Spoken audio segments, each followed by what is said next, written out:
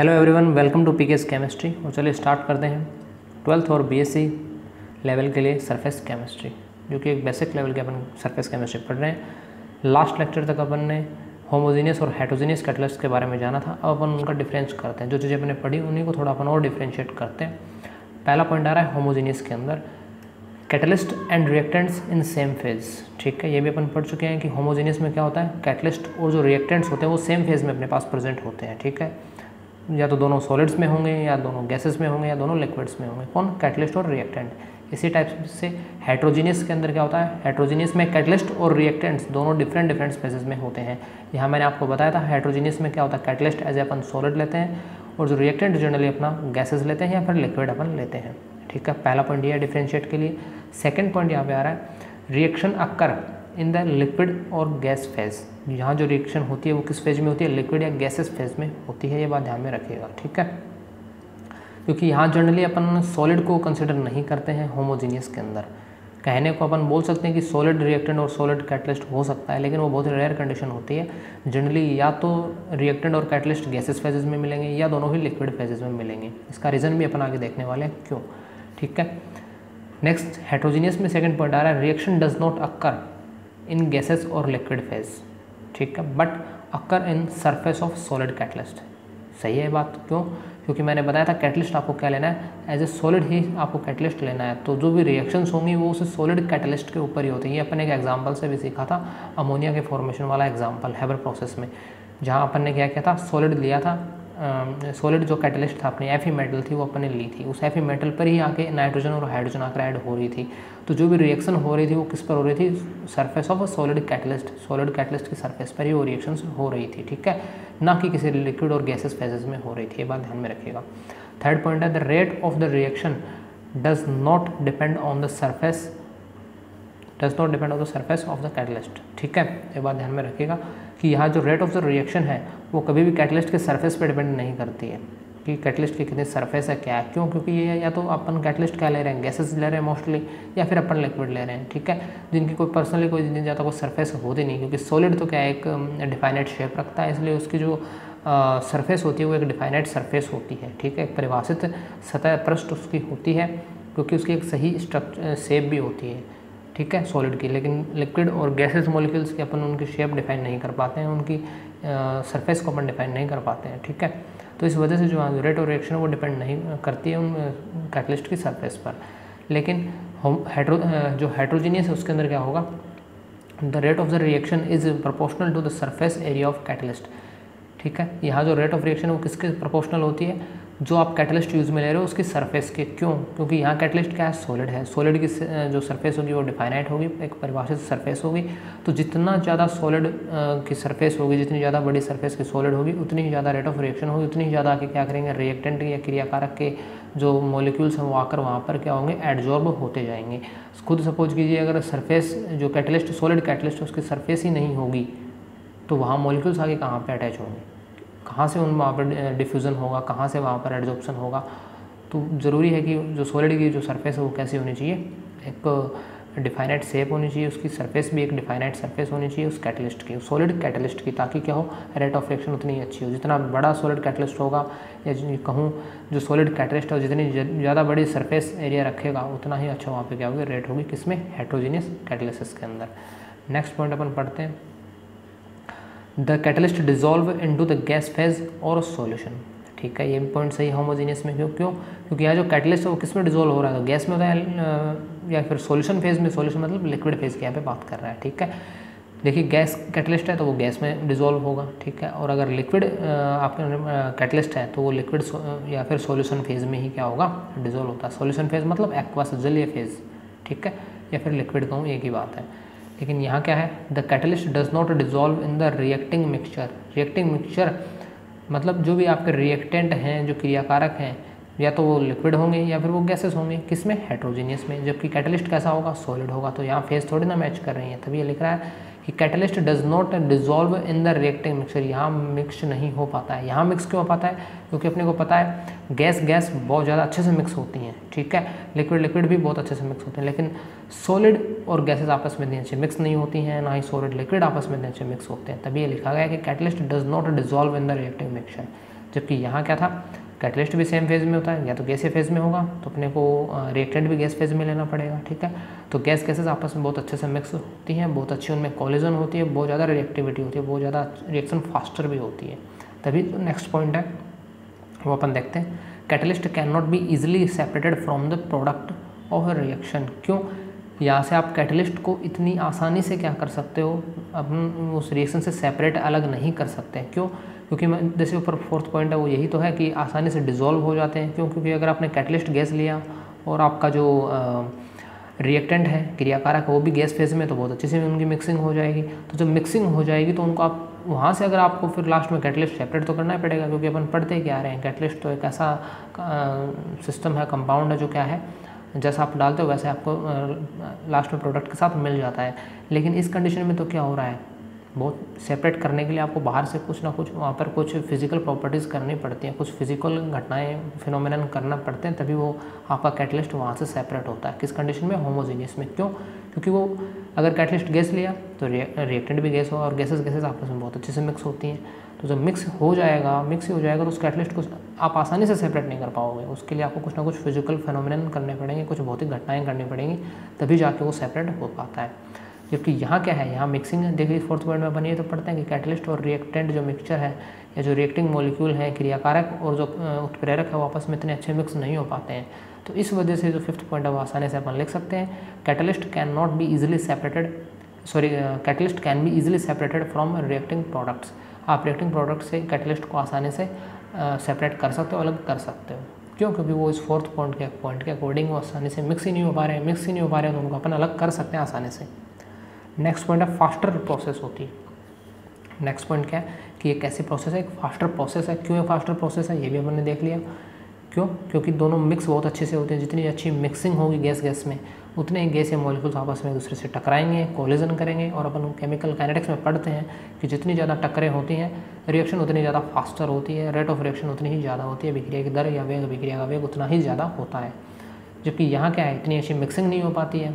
ठीक है तो मिक्सिंग नहीं हो पाती तो टक्करें नहीं होंगी मोलिक्यूल्स में आपस में।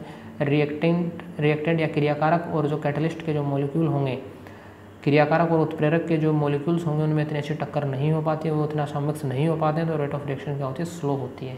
स्लोअर देन होमोजीनियस इस होमोजीनियस के कंपेयर में रिएक्शन स्लो होती है। तो ये कुछ पॉइंट्स थे जो इन दोनों को क्या करते हैं? डिफ्रेंशिएट करते हैं। आप नोट डाउन कर लेना इनको, ठीक है? अब अपन नेक्स्ट मूव करते हैं एनजाइम्स की तरफ़, ठीक है? नेक्स्ट अपन मूव करते हैं एंजाइम्स की तरफ़, ठीक है?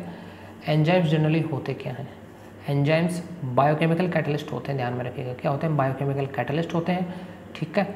और जो बायोकेमिकल कैटलिस्ट हैं, वो एक एंजाइम से होते हैं और उन्हीं की जो फेनोमिनन होती है, इन बायोकेमिकल कैटलिस्ट की जो फेनोमिनन होती है, यही बायोकेमिकल कैटलाइसिस कहलाती है बात ध्यान में रखिएगा। एंजाइम्स जनरली अपनी बॉडी में नीड होती है एंजाइम्स की बात भी ध्यान में रखिएगा, ठीक है? चलिए नेक्स्ट करते हैं बात अपन। एंजाइम्स के और क्या प्रॉपर्टी है? Enzyme protein molecules of high molecular mass and form colloidal solution in water enzymes क्या होते हैं? प्रोटीन्स ही होते हैं एंजाइम ठीक है? लेकिन उनका जो मोलिकुलर मास होता है वो बहुत ज़्यादा हाई होता है, ठीक है? उनका जो अणुभार होता है बहुत ज़्यादा हाई मोलिकुलर मास होता है, उनका अणुभार बहुत ज़्यादा होता है। और ये क्या करते हैं? कोलोइड का फॉर्मेशन करते हैं वाटर की प्रेजेंस में, या कि वाटर के सॉल्यूशन में किसका फॉर्मेशन करते हैं? कोलोइड का, ठीक है? ये बात ध्यान में रखिएगा। अपना नेक्स्ट जो टॉपिक होगा वो कोलोइड ही होगा। नेक्स्ट पॉइंट इसमें क्या आता है एंजाइम्स में? ये क्या होते हैं? कॉम्प्लेक्स नाइट्रोजनस ऑर्गेनिक कंपाउंड्स भी होते हैं, ठीक है? जनरली मैंने बोल दिया प्रोटीन है तो प्रोटीन में क्या है? एमिनो एसिड्स होते हैं और वो एमिनो एसिड्स ही तो क्या एंजाइम्स हैं। और एमिनो एसिड एमीन वर्ड आ गया, वहाँ मतलब नाइट्रोजन प्रेजेंट है। इसी वजह से लिखा गया कॉम्प्लेक्स नाइट्रोजनस ऑर्गेनिक कंपाउंड्स होते हैं which produce by living plants and animals जो कि क्या हो जीवित पादप कोशिकाओं और जंतुओं से अपने क्या होते हैं, मिलते हैं, ठीक है? तो कॉम्प्लेक्स होते हैं, एक जटिल यौगिक होते हैं नाइट्रोजन ऑर्गेनिक कंपाउंड होते हैं कार्बन नाइट्रोजन से मिले हुए यौगिक होते हैं, ध्यान में रखिएगा, ठीक है? तो एंजाइम्स की जनरली अपनी बॉडी में बहुत ज़्यादा नीड होती है। इसी वजह से, इसी वजह से क्या होती है, इनको अपन बायोकेमिकल कैटलिस्ट अपन बोलते हैं, या बायोकेमिकल एंजाइम्स या बायोकेमिकल कैटलाइसिस इस प्रोसेस को अपन कहते हैं, ध्यान में रखिएगा। एग्जाम्पल्स अपन देखें, जैसे इन्वर्जन ऑफ़ कैन शुगर ठीक है? कैन शुगर का जो इन्वर्जन होता है प्रतिपन्न होता है, वो प्रोसेस भी क्या है? एंजाइम की प्रेजेंस में बहुत ज़्यादा फास्टर हो जाती है। जैसे अपन बात करें C twelve S twenty two O eleven cane sugar है। इसका जब हाइड्रोलाइसिस किया जाता है या जल अपघटन किया जाता है वाटर के प्रेजेंस में, ठीक है? तो क्या अपने को ग्लूकोज और फ्रुक्टोज अपने को प्राप्त होते हैं, ठीक है? लेकिन ये रिएक्शन इतनी फास्टर नहीं होती। लेकिन जब इसमें एक एंजाइम मिला दिया जाता है इन्वर्टेज एंजाइम ध्यान में रखिएगा, एक स्पेसिफिक रिएक्शन के लिए एक स्पेसिफिक एंजाइम होता है। एक विशिष्ट अभिक्रिया के लिए ही एक विशिष्ट एंजाइम होता है। ऐसा नहीं है इन्वर्टेज और जगह कहीं भी काम में आने लगेगा। ऐसा नहीं होता है। ये सिर्फ़ एक रिएक्शन के लिए एक ही एंजाइम काम में आएगा। वो उसके लिए विशिष्ट होता है स्पेसिफिक होता है, ध्यान में रखिएगा। तो शुगर कैन कैन शुगर का जो इन्वर्जन करते हैं अपन ग्लूकोज और फ्रुक्टोज में, उसके लिए एंजाइम यूज़ में लिया लिया जाता है इन्वर्टेज इंपॉर्टेंट है, ध्यान में रखिएगा। इनका नाम ध्यान में रखिएगा कि इन्वर्टेज कहाँ काम आ रहा है, किस रिएक्शन में काम आ रहा है। सेकंड एग्जांपल आ रहा है conversion of glucose to ethyl alcohol glucose से एथिल एल्कोहल इस ग्लूकोज से जब अपन एथिल एल्कोहल बनाएँगे, साथ में कार्बन डाइऑक्साइड भी प्रोड्यूस होती है तो उसके लिए एंजाइम लिया जाता है zymase enzyme Z Y M A S E ये जाइमेज एंजाइम काम में लिया जाता है। ये एंजाइम स्पेसिफिक है, जो क्या काम करता है? ग्लूकोज को एथिल एल्कोहल में कन्वर्ट करता है। तो आपसे क्वेश्चन पूछा जा सकता है कि जैमेज एंजाइम क्या वर्क करता है? तो आप कहोगे ग्लूकोज से एथिल एल्कोहल बनाने में काम में काम में आता है। या फिर आपसे क्वेश्चन इस तरह पूछा जाए कि ग्लूकोज से एथिल एल्कोहल बनाने में किस एंजाइम का यूज़ किया जाता है? तो आप क्या कहोगे? जैमेज एंजाइम तो दोनों तरीके से क्वेश्चन पुट किया जा सकता है। तो ये बात अपने को ध्यान रखते ध्यान में रखनी है। ठीक है? नेक्स्ट नेक्स्ट जो इसका यूज़ है वो है डीकम्पोजिशन ऑफ़ यूरिया ठीक है? नेक्स्ट जो पॉइंट आ रहा है वो क्या है? नेक्स्ट एग्ज़ाम्पल है डीकम्पोजिशन ऑफ़ यूरिया ये यूरिया का एग्ज़ाम्पल है N S two C O N S two ठीक है? कुछ इस टाइप की क्या होती है? इसकी स्ट्रक्चर होती है, थोड़ा स्ट्रक्चर अगर अपन ड्रॉ करें तो एन एस टू यहाँ पे कार्बोनिल कंपाउंड फॉर्म होती है और ये एन एस टू ठीक है? तो एक तरीके से मैं कह सकता हूँ कि एसीटोन का एक एक सब्सटेंट है। एसीटोन में यहाँ जो तो मैथिल ग्रुप्स लगे होते हैं, उनको हटाकर अपन एन ग्रुप्स लगाते हैं। इस कंपाउंड को अपन यूरिया बोलते हैं। जब यूरिया का डिकम्पोजिशन कहूँ वाटर की प्रेजेंस में, या कहूँ हाइड्रोलाइसिस जल अपघटन भी कह सकते हैं अपन इसको, ठीक है? तो जब अमोनिया का सॉरी यूरिया का जब हाइड्रोलाइसिस किया जाता है तो अपने को अमोनिया और सी गैसेस मिलती हैं। ये जिस एंजाइम की प्रेजेंस में रिएक्शन फास्टर होती है, उस एंजाइम को अपन कहते हैं यूरिएज क्या कहते हैं? यूरिएज तो पूछ सकते हैं कि यूरिएज क्या काम में आता है? तो यूरिएज यूरिया को अमो, यूरिया से अमोनिया और सी प्रोड्यूस करने में काम आता है। या फिर पूछा जा सकता है कि यूरिया से अमोनिया और सी कैसे प्रोड्यूस की जाएगी? किस एंजाइम की नीड पड़ेगी? तो अपन कहेंगे यूरिएज। ऐसे अपन मिल्क से जो कर्ड अपन बनाते हैं, उसके लिए अपने को एंजाइम की ज़रूरत पड़ती है। जिस एंजाइम की अपने को ज़रूरत पड़ती है, उसको अपन बोलते हैं लैक्टिक बेसिली क्या बोलते हैं? Lactic bacilli B A C I double L I lactic bacilli तो ये कुछ एग्जांपल्स थे अपने बुक्स में आप देख सकते हो, और भी फर्दर एग्जांपल्स सारे ही इंपॉर्टेंट हैं। ठीक है? अब अपन बात करते हैं कि प्रो एंजाइम्स की प्रॉपर्टीज़ क्या क्या होती हैं।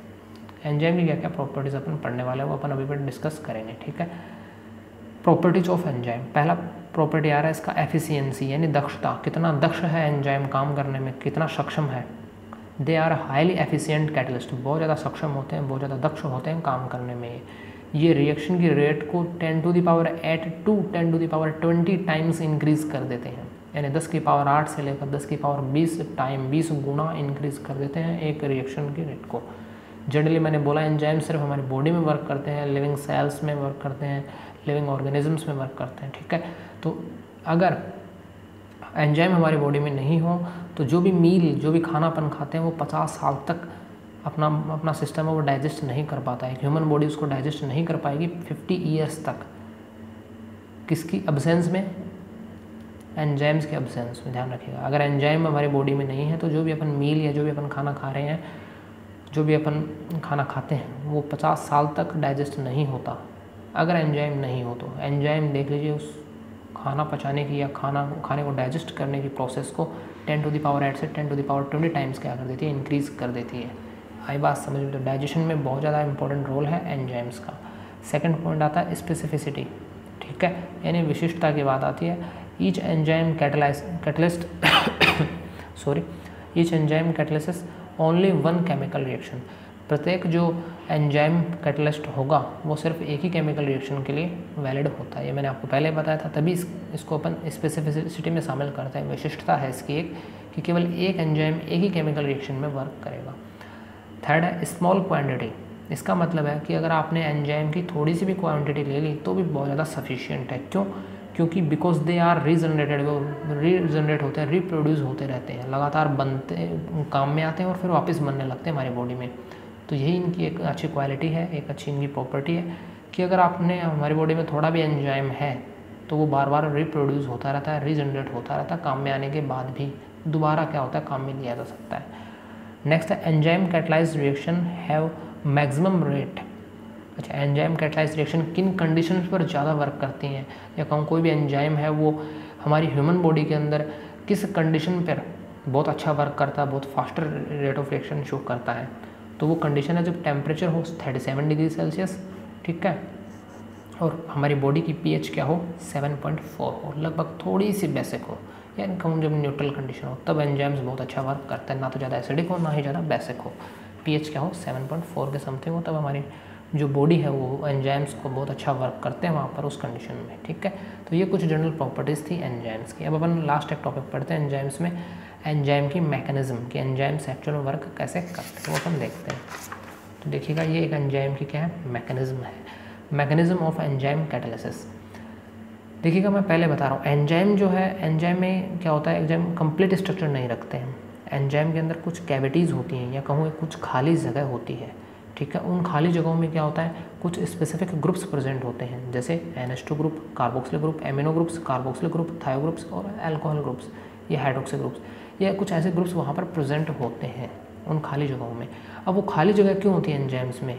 क्यों? क्योंकि ताकि कोई भी सबस्ट्रेट है, कोई भी सबस्ट्रेट है, या कोई भी रिएक्टेंट या क्रियाकारक कहूँ ठीक है, या अभिकर्मक कहूँ, वो अभिकारक कहूँ सॉरी अभिकारक, या जो भी क्रियाकारक है, या जो सबस्ट्रेट है रिएक्टेंट है, वो आकर आसानी से उसमें फिट हो जाए।